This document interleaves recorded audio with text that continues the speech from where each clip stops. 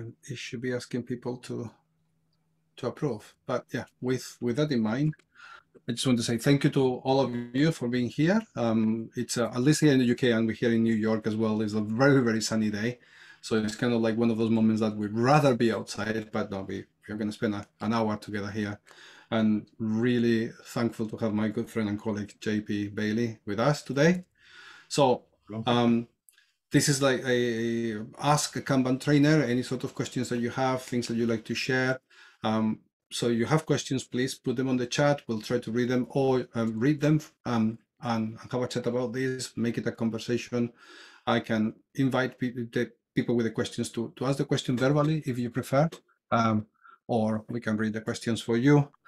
Um, but yeah, we try to make it a conversation, conversational style, see, see sort of questions, explore anything about Kanban, flow, anything on this on this topic. Okay.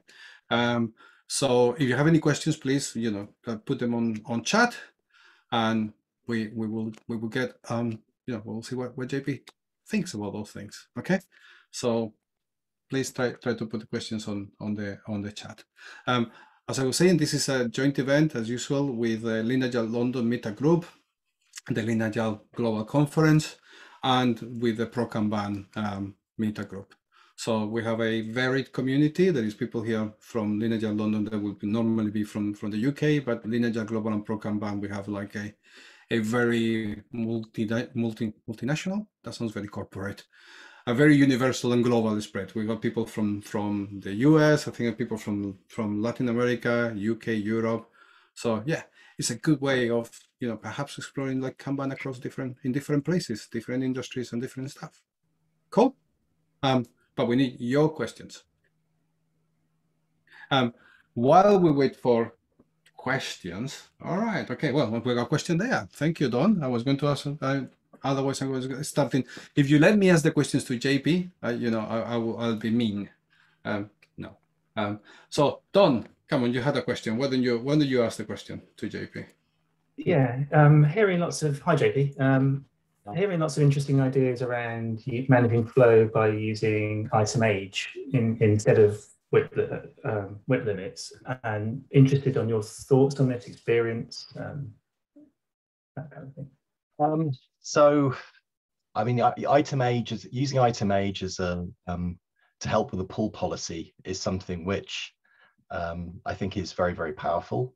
Um, but I, I, think the having some sense of um, well, some way of limiting WIP is also useful. The two things for me go hand in hand. Uh, what I've tended to see is when people start to focus on those things, then they have pretty dramatic improvements to the stability of their system uh, which then just means that their forecasting gets a lot better. Um, and you know, people can be a lot more trusting and confident in their forecasts. So that's that's what I've uh, what what we've um, you know seen when we apply those two things side by side rather than one alone. The, the risk is with if you apply just work item age without any sense of, of limiting WIP, well, as far as I see it, is there's still the possibility that people might carry on pulling work into the system and ignoring work that's kind of mm-hmm you know should just be being worked on and getting done. Uh, so it, it's it's kind of the the two things together are important. Um, I, I, very consciously use the phrase limiting WIP rather than WIP limits because there's lots and lots of different ways of limiting WIP. Um, and uh, you know I mean ultimately I suppose it, you could say it's just down to semantics but um, uh, you don't have to have like you know a number there. You can have you know one in, one out. Well, sorry, one out, one in, um, and and um, approaches like that for limiting WIP as well. You don't necessarily have to have a, a, a hard and fast figure. I, I think to go on, Kevin. Yes, I was just going to say. I think to that point, um, focusing on item age and managing item age might be a way to WIP, limit WIP. Hmm. If we say that if something gets older than a certain age, we can't start something new. We have to focus on that and we have to swarm on it or we have to do whatever we need to to get that done. That could be a form of of limiting WIP, right? Yeah, and that's a great Absolutely. point, Kevin. Hmm. Yeah, that's, that's that is a great point. It, it needs that and though. That's that's the thing. Right. It's kind of if you're just doing it on age alone, then there is, you know, people could be irresponsible and just let stuff age. Um, uh, you know, especially when you have kind of conversations like, well, you know i've done my bit on that piece of work so i can start doing things. So then it, it also depends on the context of the team and how well they're working actually as a team within within that system and also i suppose also the level of the um, the workflow that you're working at. So uh, you know if it's a higher level like a portfolio level then you know um, one particular part of the portfolio workflow might, might be kind of washing its hands of it and just ignoring stuff and then bringing more work in which means that the people downstream end up getting into uh, trouble. Yeah. There is a, a, a very interesting thing about um, uh, work in progress age or aging is that um, many times we say this is the this is really really powerful and and is the the one metric that a lot of people haven't heard of. I mean we haven't heard of a few years ago like three three or four years ago. Um super powerful and it really really enables things like the you know the, the resistance that people have to um uh WIP limits and things like that. There's always like a fear or resistance towards that. And, and one of the things that we find many times is that when when introducing aging as a, something to consider and when teams start realizing that what what the impact of aging is. Um, the consequence of that is that the the, the WIP starts becoming more manageable. Uh, is what I think what JP was saying. If if they don't, if if a team is trying to look at age, but the, but but they don't stop the tsunami of lots of work coming and starting and starting and starting work, what you end up having is everything in everything looking really bad, everything really looking very aged. Yeah. Um, so so I think when when age when when teams start paying attention to aging, the, the, the natural consequence is that WIP becomes better. So uh, it's a very powerful. How many of you are using um, work item, um, aging as a as a as a technique, as a practice? You know things. Any many of you? Don, I can see a few there. Yeah, yeah, yeah. yeah. And uh, it's we actually uh, uh, JP and I were working a few years ago with a team in in in Ireland, and and when we visited them after a while, um, they had started to use um, aging, and it was it was a, a really really um, can I say emotional moment, JP? Seeing seeing that, I mean, how different. I mean, the, the, the things like the the daily stand-ups, daily scrums, daily kanbans, how how much more collaborative, how much more powerful. How the conversations were awesome. You know, teams making decisions. Um, it was really really powerful. Brings a lot of focus. Mm-hmm. Yeah. What's your experience of it, Don, when you're using it? Um, I think a bit like JP was saying that I haven't used it instead of WIP limits, but with it with WIP limits, and mm-hmm. um, uh, in, introducing the team teams to get that view is a view they don't often get, and they can easily miss the age of items on the board. Um, even with things like you know, Jira that has little dots to show you the age, it doesn't really give the same proper impact. Um, um, but yeah, it really changes the conversations. Yeah, cool, cool. Any follow-up questions about aging um, before we move on? Anyone? Any or any contributions? And um, can I just clarify? So when we talk about yes. um, uh, work aging, we, we're talking about stuff that's actually been started, right? It's, mm-hmm. not, it's not just items in the backlog. Okay, all right. I just wanted to clarify. Yeah. Although it depends. So um, yes, depending depending on what level you're having that conversation at. So um, you know, that, an item that could be in a backlog might have been considered started as part of a wider system, at which point it is actually aging within that system. So I was talking about portfolio. Um, you know, if you've got something which is considered started within a portfolio but not at the team level then is it started? And and then then you've got a whole different bunch of questions to have to, to wrestle with so. Yeah fair enough. It, yeah. it was it was more just to kevin's comment um, about mm. you know focusing on the oldest item first. Obviously if that's in the backlog you know i'd, I'd maybe question that but now that i've got clarification it makes sense what kevin was saying. Thanks. Yeah there, is another aspect of this because in, in backlogs, you, if if from the perspective of one system, one team, so one board, whatever, yeah, if it if it's in the if it has not started, the clock hasn't started, then age is zero, yeah. Um, although mindful what JP was saying that it, it may have started some, somewhere else, it might be considered already started. However, in the backlog perspective, then you're entering the idea of triaging and things like that. Um, you know, sometimes you find organizations that they have items there in the backlog that are six years old, three, four, five, six years old. yeah, and they have no chance ever of um, of ever being pulled in. But we have a fear of, hey, you know, we have a fear of deleting them or, or removing them because uh, they might have value. I mean, sometimes it's good to have a policy that that says like, you know, if it's been here in this backlog for a while, it should it should be removed. And if it's really important, it will come back. Yeah, but um, that's not considered a ticket that is aging because it has not technically started from the per perspective of the system. Yes. But you know, th think about it. The triaging is, is something that we probably don't do enough of. Great question, Dylan. Lyra. All right. Okay. Shall we move to the next question? Because I mean, uh, JP, you you you mentioned portfolio boards and, and things like that. So, um, Paul, Paul Siegel, you had a question about flight levels on level two. Would you like to ask the question? Maybe elaborate a little bit on it. Yeah, so we have we have lots of uh, teams that have have either Kanban boards or Scrum boards, but mostly Kanban boards, and multiple teams can be on a product. Um, but what we're finding is the coordination is a, a challenge, and I'm trying to persuade. So I'm trying to initiate a, a like a flight level two board to at a, at a level higher to uh, visualize that um, progression in that workflow. But where I'm where I'm slightly worried is how do you go about approaching a flight, designing a flight level two board because it's getting it at the right level. So not making it too detailed, but not making it too abstract. And, and I suppose that's why where I'm struggling. Does that make So- sense? Sorry. Yeah, I, I- I'll I'll try to I'll try to give the best answer I can, and and we can clarify if I've missed the point. How's that? How's that, Paul? Yeah, sure, sure.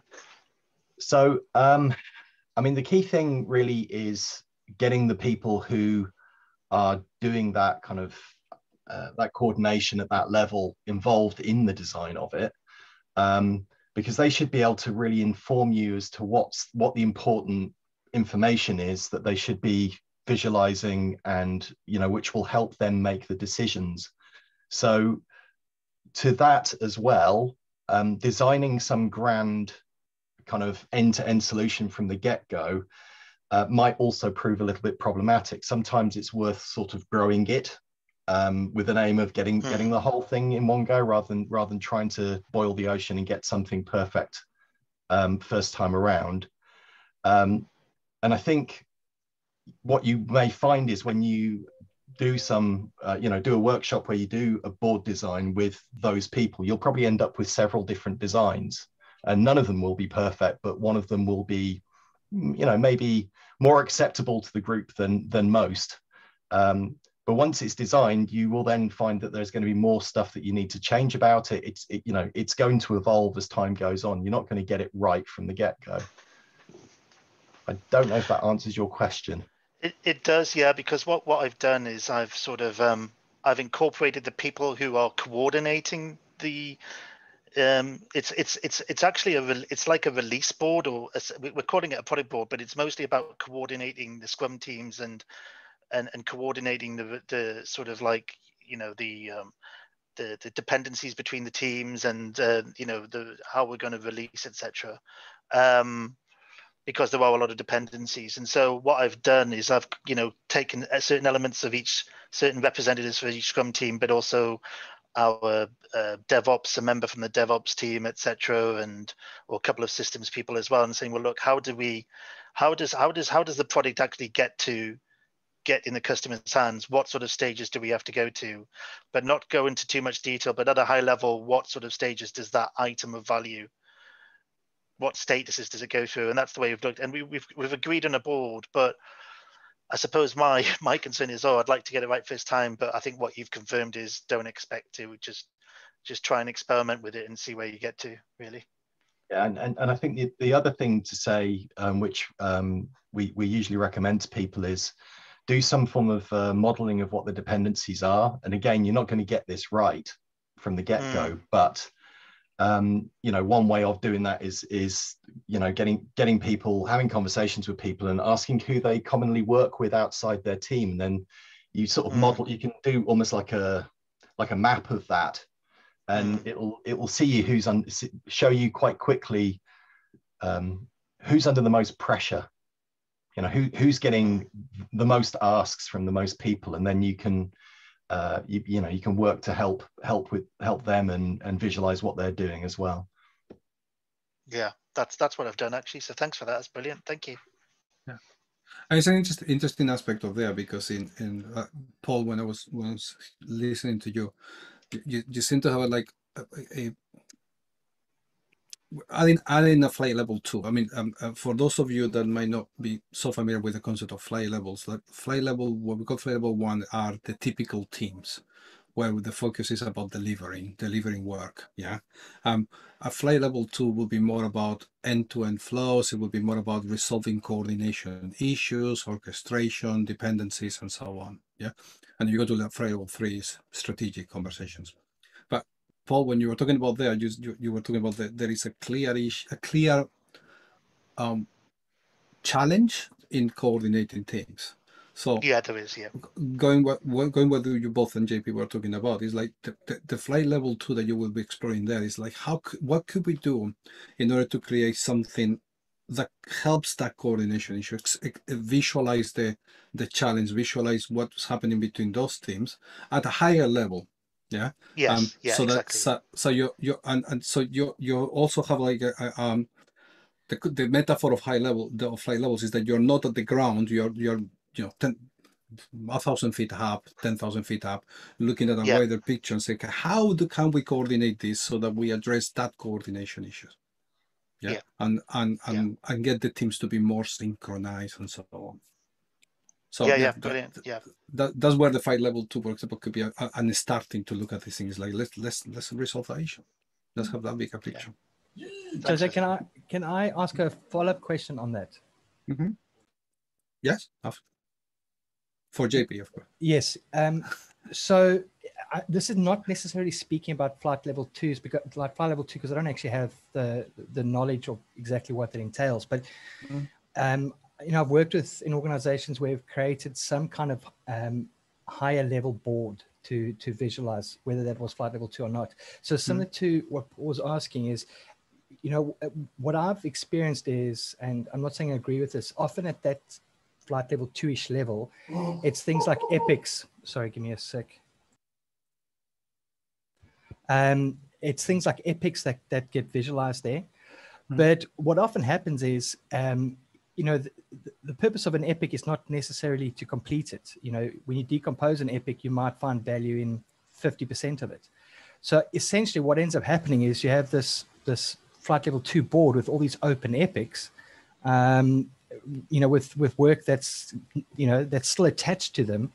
That's, um, that's not going to be done for, you know, months or if ever. Um, JP, have you kind of experienced that and how have you kind of dealt with that? Uh, so I, I mean, I, I, have seen I have seen that happen. I, I mean, uh, the other the other risk that what ends up happening at that level is that um, you can end up with just a bunch of arbitrary work which is being put on a board for, for reporting line purposes rather than actually helping anything else. That's that's another kind of uh, thing that you see happening. Um, what I think the thing to bear in mind is if you're in that kind of scenario, Dylan, where uh, you've got maybe sort of like an, an open-ended intent to work on a specific area of, of, of work, um, then perhaps what you should be measuring is, is progress towards when good enough is within that. Uh, and what I mean by that is you might have uh, the epic actually kind of uh, you know at some level within within that board. And then you might be modeling all the different stories that that kind of relate to that epic going across with some sort of measure on there of when when that's kind of good enough so that you can kind of say look actually we no longer need to be dealing with that epic because we've got enough of that stuff done and we can focus on other priorities. So that's one way that um you know i've seen seen that dealt with. Yeah. I, I, I would add to that i would add to that as well is that whether we're using the what language you're using and how you're using all these things about epics or features or initiatives or that that's going to be very very very contextual yeah? Um the one thing that i would add to that is that whatever is the definition of that unit of flow that you have a flight level two still has a flow yeah? So you still need to kind of like it's it's not dissimilar to what you will do. That when, when you are designing those boards when you're designing the the workflow the work item definitions all those things yeah it's not dissimilar to what you will do at team level. It's just that the it's a it's it's a different order of magnitude potentially yeah. But if something doesn't if you have something that is just there um, uh, as a how can I say an accumulator of potential future work that maybe is not what that's not something that that will flow through a workflow. Yeah? So you you might need to do something that extracts sub elements of that which which then you flow through your flight level two um workflow. Yeah 100% so so yeah i mean if, if you have if you have a, a flow at that level a, a, a board at that level that is not where where flow is not present those those feel like they're just like generators of ideas or something like that and, and you know whatever language you use for those yeah um, yeah, the flight level two still has a flow in it. You still have like you know work that needs to be done and work that flows to complete it, and, and then you have some element of validation, um, um, for customer value and all those things. Yeah. okay thanks very much. I much wonder if I mean, can add sort of an an observation, I guess. Um, Hmm. So Hmm. Paul mentioned as as he was Hmm. talking about what his flight level two board was, he meant he described it as a release board, and he sort of glanced over it. But um, that that sort of stuck out to me as what we're really trying to track is the the changes that we're making to our set of applications um, that that we hope to have some outcome, right? We hope to have some some value for the organization, Mhm. um, and there there might be we might have uh, multiple epics across multiple teams that we're going to pick a set of stories from and we're going to implement all of those stories at, at one time and that's the unit of value that we're delivering um, and that that thinking of it as a release board or as, as a set of uh, I, I don't know some something that might be there i'm not sure Paul, any thoughts on that? Yeah, yeah, I think um, it's. I, th- I think you're right. It's it's it's more. It's. I think you're right. Then it's it's very contextual. Um, Mhm. I think what's what's really important to me with regards to flight level two, and what what I've figured out is there's a couple of things. Is number one, it's it's it's the coordination, but number two, uh, probably the most important thing from what I've experienced so far is the conversation. Mm-hmm. and the board is there from my perspective the board is there just to support that um and once i think i think um i think what was said earlier was that you know getting those people involved in designing the board is half the battle. And once you've done that then you're you're you're going to get engaged conversations. And that's probably what i'm finding at the moment is the most valuable thing at flight level 2 is getting that you know i think we have a weekly flight level 2 meeting. We don't call it flight level 2 but it's a weekly meeting uh, where there's a coordination or a sync, I call it, or something, and uh, a synchronization. And it's the conversation that I'm finding is very, very, very important. Mm-hmm. Mm-hmm. Uh, that, I don't know if that rings true with any of you guys. but I mean, uh, uh, it does it does resonate with me a lot because I mean, a lot a lot of many times of uh, lots of the systems that we build and all the stuff, they are not what they help is, uh, you know, if I make a, a, a tiny connection to things like um Scrum and so and so on, is is this idea of groups of people self-coordinating, self-organizing, self-managing. Um, um, I love how Dan Vacanti talks about many times Kanban, saying like, you know, when you have a good a good Kanban system, good metrics in place, what what helps people is to make better questions earlier on. And that's you know, that's to me is many times evidence of a system that is really helping a collect a group of human beings making making better decisions, making better work. Yeah. Um, Yeah, So in some ways, it resonating with what. Oh, yeah. that's cool. a good point. Thanks, Jose. Excellent. Okay. Um, Dylan, you had a couple of like long messages there. Would Yeah. do you want to um share? Yeah. Ask? Um, okay, so the first one, actually, Don's familiar with this one as well. Um, s- what I've experienced in large organizations, they're keen to keep structure. And so they generally gravitate to anything that looks like an agile structure. So, for example, Spotify with the, the alliances and the, the squads and the tribes, etc. Anyways, the place I'm working at the moment's kind of adopted that. And um, that's where I find myself right now. So the question is, at the moment, they've kind of set up their alliances based on customer journey.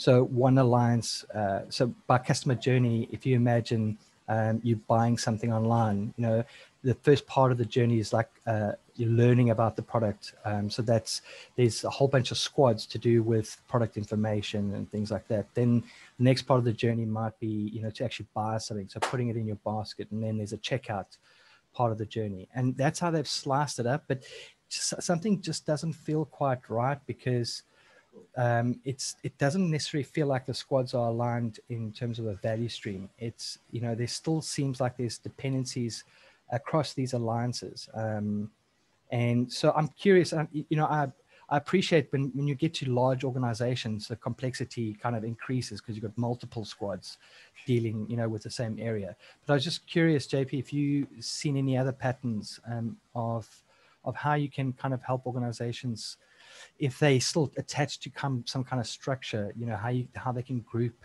um, you know, kind of squads together. Um, so that's it.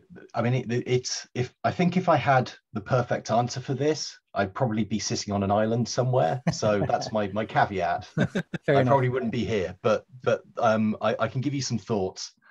So what I, I think you know what you see with the Spotify model, you see this with other things, other things as well, and um, it seems because somebody has written about it that maybe if we just take that learning somehow it's going to rub off on us and be okay. It's it, to me, it's a little bit like, um, you know, you've got your favorite celebrities. You start wearing, you know, you start wearing the same sunglasses as them because, like, somehow it's going to, you know, their their their celebrity's going to going to rub off on you. Um, I think the most important thing is what problem are they trying to solve?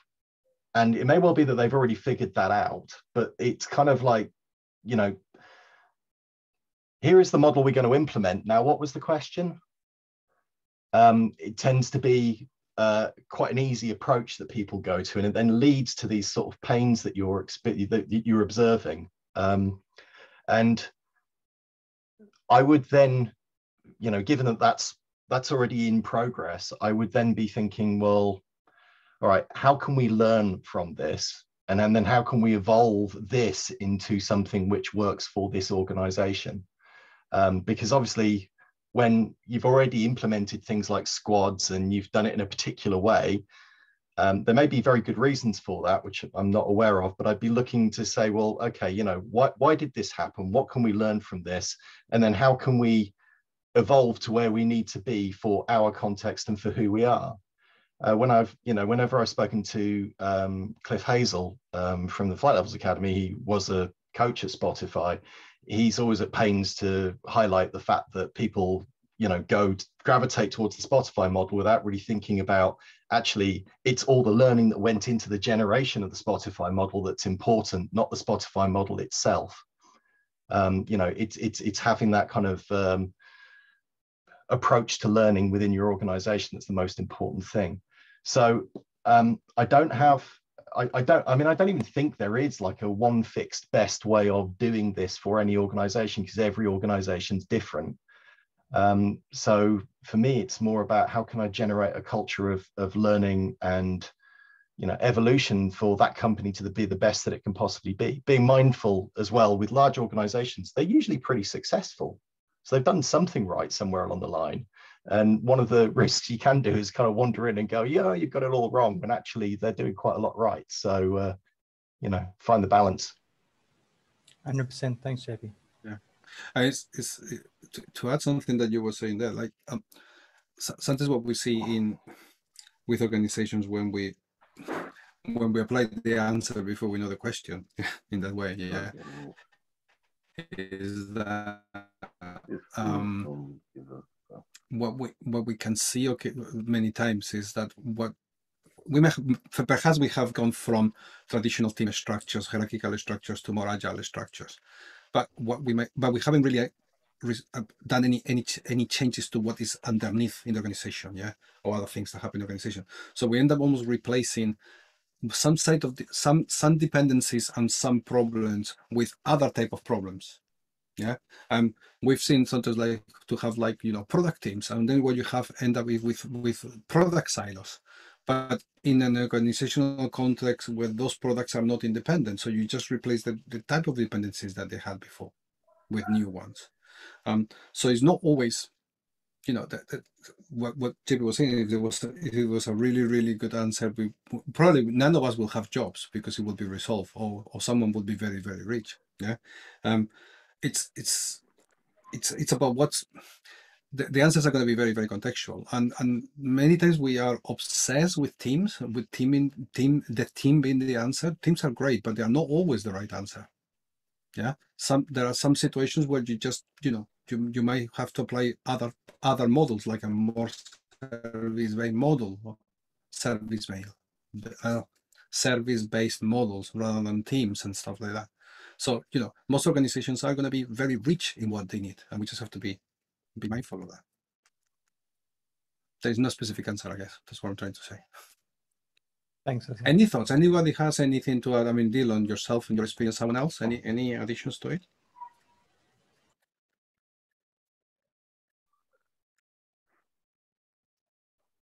No? All right. Um, I'm going to skip the next one that you have, Dylan. But uh, um, Matthew, would you like to ask your any any questions that you have? Any Matthew Joby? Y- Yeah, thanks. Uh, thanks, Jose. I'm really struggling with my internet, so I just hope it stays through. Um, Yeah. at the moment, I'm grappling with um, it's a Mm. bizarre sort of situation. I'm, I mean, at the moment, never seen it before. I guess we're all kind of face uh, unique moments every now and again. Mhm. I'm working with a bunch of um, SaaS product um, rela- uh, relationship managers. Uh, there's about uh, four, five of them in the group. And a lot of the work they do is managing uh, dependencies that are outside the function, uh, Hmm. completely outside the function. Um, security, uh, uh, cloud, uh, just sort of uh, high level DevOps, and sometimes legal.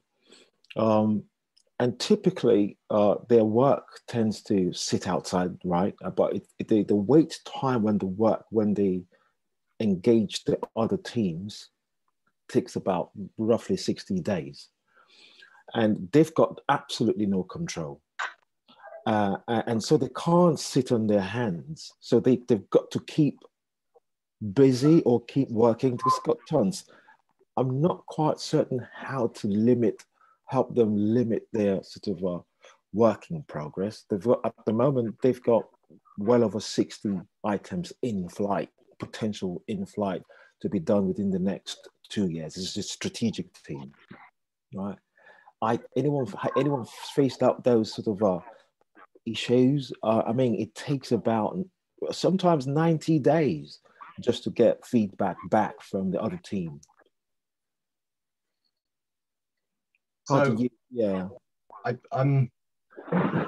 I think there's there's a thing that there's a thing that we have which we um we, we kind of casually refer to. It's Jose's rules of flow, and I would I'd be sort of thinking thinking in terms of a little bit of that plus some of the other things we were referring to with the flight level two board earlier.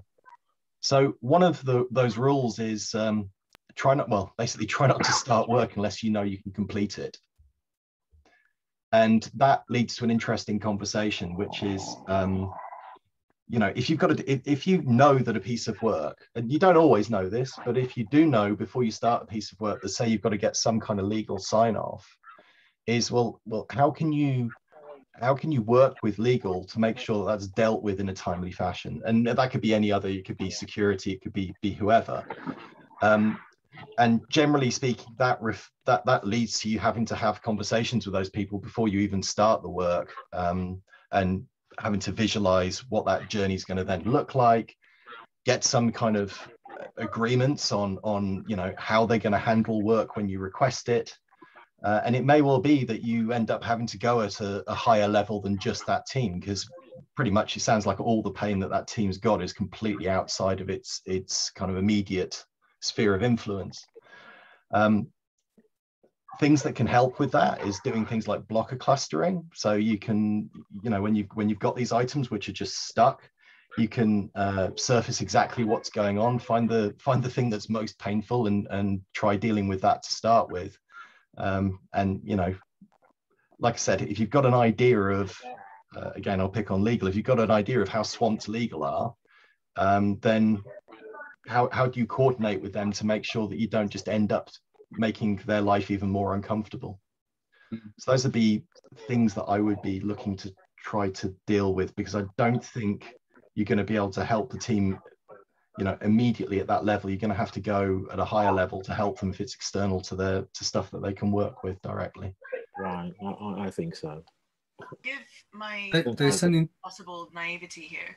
Um, I might have missed something, but uh, it's, I mean, with our Kanban board, they are. Thank you, Michael.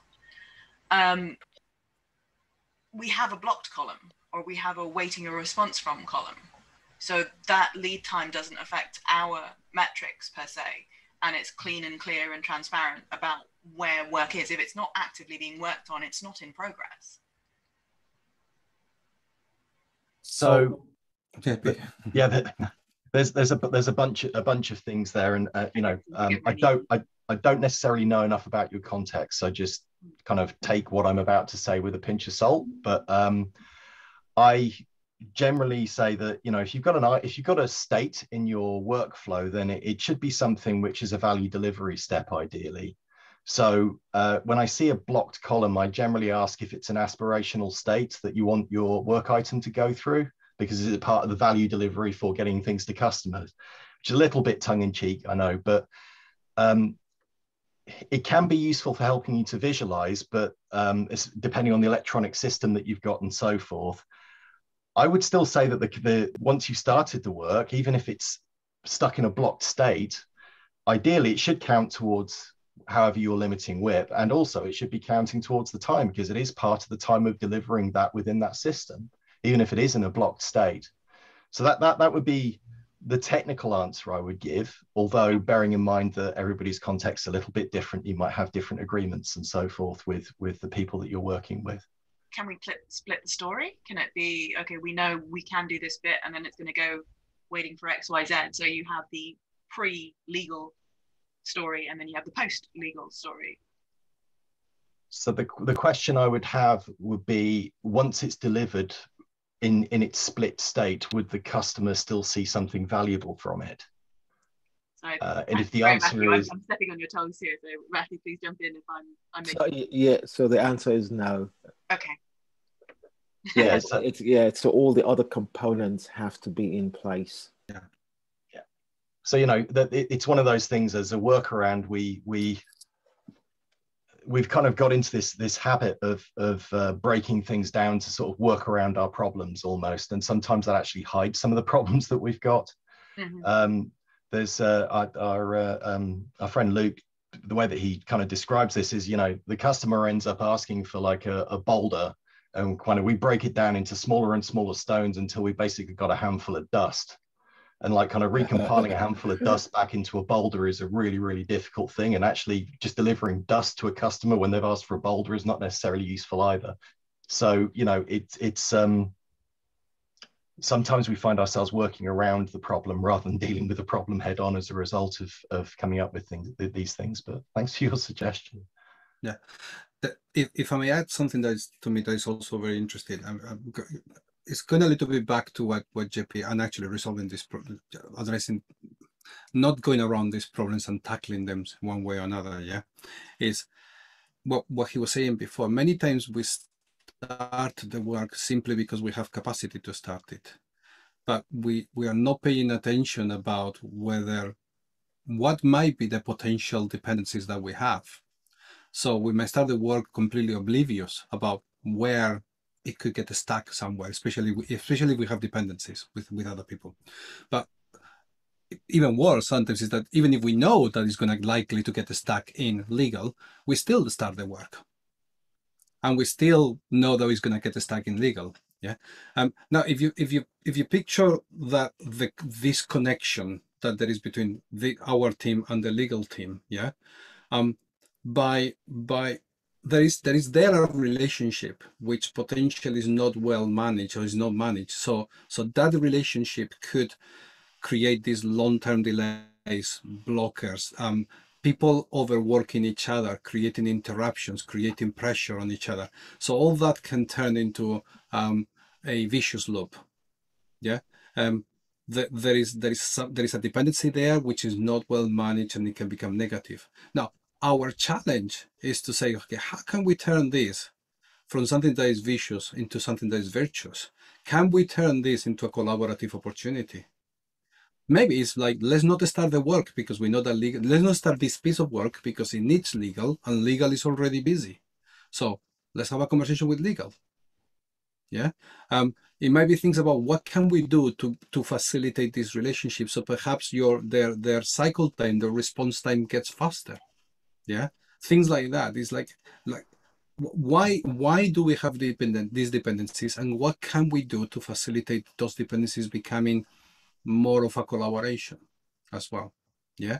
Um, if we don't do that yes what we end up doing and many organizations what we have is this um, we, we think that what we're doing is delivering value and most of the time what we're doing is just creating interruptions on one another and then we're trying to manage the interruptions and manage the dependencies rather than delivering value so so so many organizations, you, you look at the, the, the way they, they, they, actually work is not value delivery. It's like basically, let me piss you off delivery kind of thing because we don't handle them.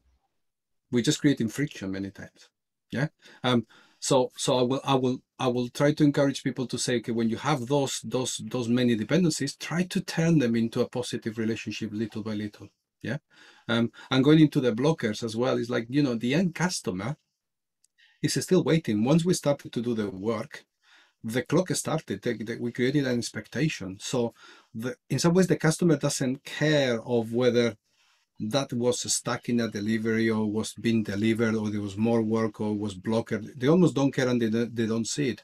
They only know that it's taken two years to get delivery. And that's not good enough. Yeah. So that's why for me, many times, like things that are blocked, the, the, the clock is ticking. And if it happens regularly that these things get blocked, we need to do something about them.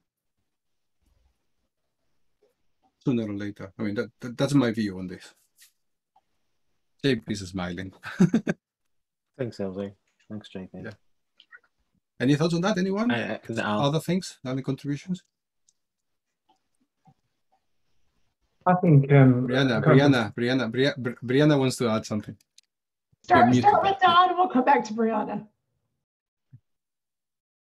I think okay. maybe you said it earlier on, um, Jose, like stepping up a level in the organization. Like, is legal if it's legal, is legal currently working on something that's more valuable than we want them to work on, and, and working it out sooner. Maybe maybe one of us shouldn't have started. Um, mm-hmm. um, yeah, and, and that's where, for example, when you have like common a common a department that becomes a service, um, like might be legal, you know, that, that's where things like flight levels might become a useful concept or, or something that looks at the wealthy picture and says, why, why are they so busy? Even actually, um, Don, saying what you just said, like even Matthew's team that says that most of the work is about depending on other people. Maybe that team itself is some sort of like um, a service in itself because it has all this all these external connections. I, I don't know. Good point. Brianna? Uh, so I'm going through a similar uh, situation that Matthew is going through, and it's been a three and a half year problem. And I am 100% dependent on another team, and I've been trying desperately to break that dependency for three and a half years. And mm. I, all every time I try to break it, it's I'm now on my third CEO and fourth CTO of a Fortune 50 company. So it's like I get handed a new executive instead to solve the problem. And it's like that's not the problem I need and solved. Yes. And and, yes. and the problem is I now report to the person who's creating the problem. And my solution is every time I hit this DNS issue, the same DNS issue, I have figured out how much labor is it costs and the cost of delay. And so I have a running tally now. And so that running tally, and it's like, you know, it's a it's a one million dollar problem. When it gets to a 10 million pro 10 million dollar problem, uh, like that is going to be forced to be reckoned with and i will be the force behind it that you know makes it like you will address this you can no longer ignore that this That's is good. not an issue hmm. now it it took me a year and a half to figure out that there are ways of making this an issue to, to find it yeah. like i recognize my problem may not be the biggest problem but you know if, if you've allowed it to go on for three and a half years i'm going to show you it is an issue right mm-hmm. and and and and if you can if you can afford to ignore this then please clarify what is bigger priorities and I'll go help you fix those problems, but but please quit ignoring me and quit ignoring that this is an actual valid issue. Um, mm. and, and sometimes it falls onto, it may not be your day job to figure out how to solve this, you know, how to track it, but sometimes putting some kind of metric and, and, and a painful one at that behind it yeah. helps solve the problem. Um, yeah all I can say is wish me luck because because I'm getting towards that $10 million threshold and I'm gonna be like, okay, do we solve this problem or not? Do you care? Yeah, absolutely. That's that's great. As uh as Matthew says, boom.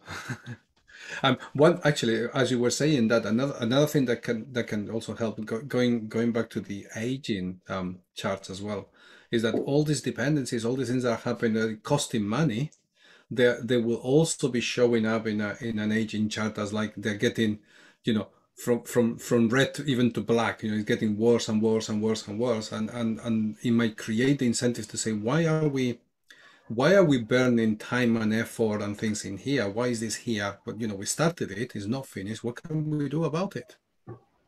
So I combine that with the with the cost it has and the impact it has as well. Yeah, very very powerful yeah. conversations and it's very very hard when yeah of course it belongs to another silo because you know the mm-hmm. executive i'm trying to deal with or the director i'm trying to deal with this as well is he sees it as a 30, 30 to $60,000 labor, labor saving. I see it as a $1.2 million production issue on my mm-hmm. side, which means it's a $2 million production issue on his side. And I'm like, please stop handing me the wrong individual who doesn't have the qualifications to mm. handle this issue. You, need, you do need an engineer to solve this problem, not an analyst. Like you actually need someone who has engineering understanding mm-hmm. to actually solve this. It doesn't have to be an engineer, but it has to have engineering understanding and it has this level of competency, right? Because this is the issue you are now facing. Because you don't have to pay for it doesn't mean it's not your problem, right? Mm-hmm. This, this collectively impacts us and and being able to understand how these dependencies work can really set you up for success, right? Yeah. Like yeah. it can also get you ignored really quickly if, if you're if you're you get too loud sometimes. But at the same time, being able to, to highlight the and financial just financial cost is an easy way of doing it. There are other ways of doing this. It, it's just it, and it took like I said, it took me a year and a half to figure out all these costs. But being able to show this one point million dollar this 30 30 to sixty thousand dollar labor cost caused a four, you know, $1.2 million production issue on, on my end as the infrastructure maintainer and a, you know, a two, I think it was a $2.4 million production application issue for you. Please don't tell me that's the problem you're trying to solve. It's not, you know, because that was, that was, you know, that was absorbed by our customer and they are angry at us for it. So it can take a long time, but you have and you have to be patient with working that out and showing visuals to it. Now, if you're getting ignored with all that, then the battle's lost, move on to something else. But at the same time, being able to show some because because if someone's not experiencing that pain, they're not necessarily the ones going to solve the problem. Also, sometimes when you show somebody something that painful, it's too painful for them to take on board, so they just shut down and ignore it. It's the kind of you know bury your head in the sand type approach. So that does also happen as well. Um, you know, there are there are times we've worked with organisations where we've shown them something alarming, shall we say, and they've just rejected it out of hand because they just weren't ready for it. And that's okay. I mean, you, you if you carry on pressing, then you're just going to get an even worse response. There will come a time where people are ready for it. It's just not now. So you've done your best. Time to just kind of step back, let it accrue a bit more, and then maybe in a month or two's time or six months, they're they're ready to take it on board and do something about it we'll do another reorganization and this time we'll do a spotify you know every time we talk about things like that and i hear brianna talking about uh, i i'm gonna do a quick image share because i, I this meme keeps hitting me the one that says like sure sure i'm glad i this is not on our end okay we're in the same boat. Uh, that's brilliant. yes. I'll put the link on the chat if you if you want to to pick it up. Yeah. yes, please. But that's that's how many times we're behaving. And, and what JP saying, what JP was saying, like we we kind of like we we are really as human beings. If it's scary, we are really good at ignoring it. So how can you make it, in some ways, something that people have to pay attention to in some ways, yeah, as safely as possible? That's great. Okay, um, we are um, running almost towards the end. This is the time is flying. Um, the I, I remember there was a second question by Dylan. Dylan, do you want to go back to that second question that you had? And that would be the last question.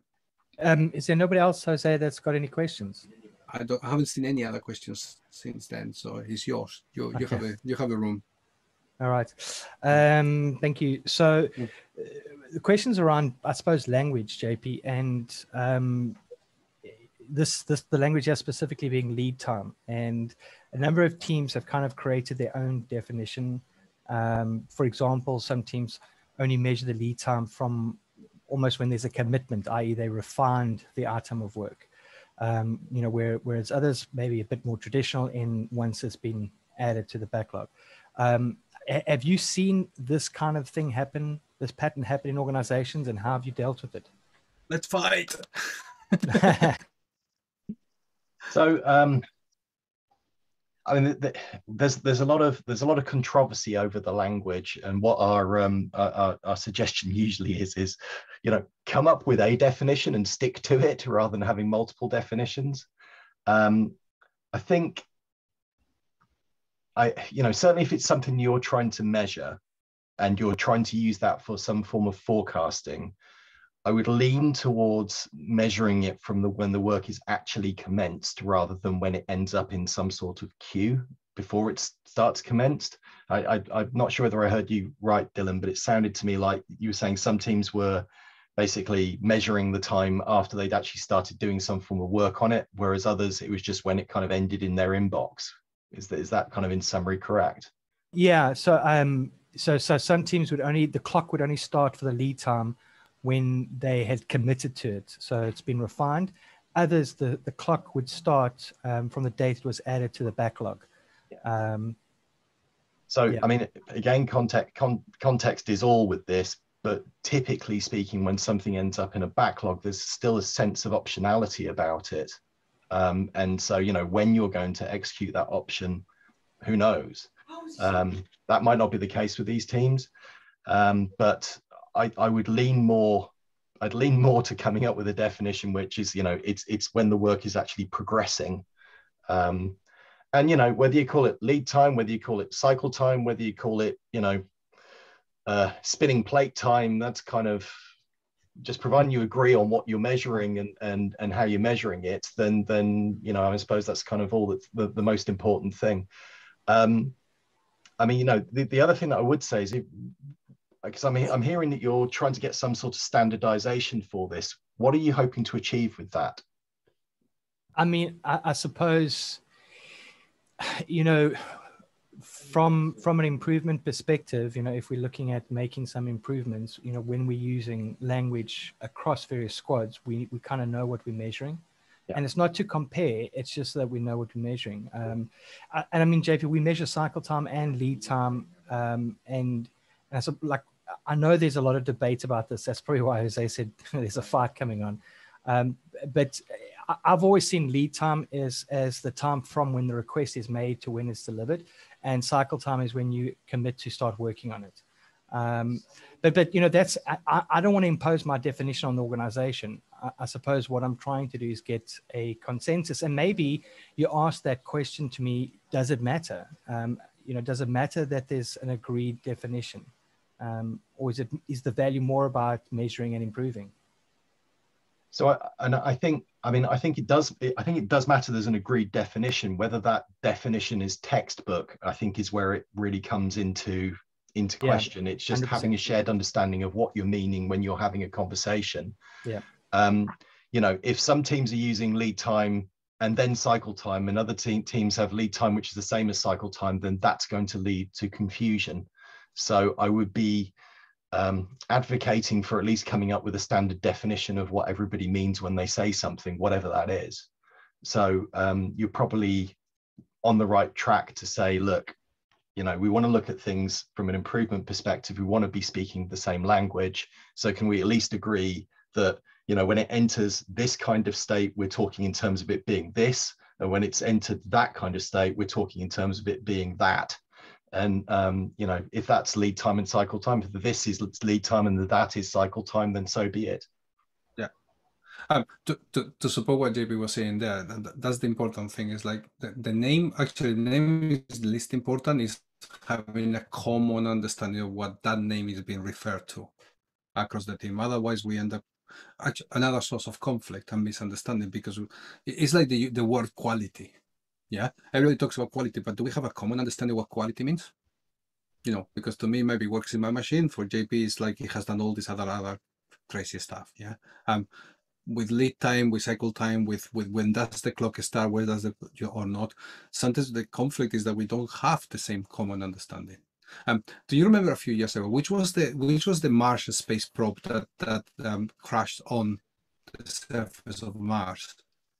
Um, I don't remember which one of them was. And the, the problem was eventually that the two teams, there was like a European team, I think it was, and an American team, and they had to do a piece which was like three centimeters, and some of us three, and some of them were using inches. The other ones thought it was centimeters. And because they were using different units, misunderstanding happened. The whole thing crashed on the surface of Mars.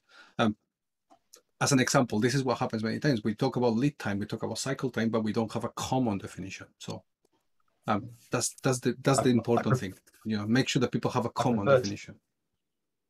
I prefer to think in terms of Spinal Tap with their Stonehenge, frankly, which is you know 18 inches versus 18 feet.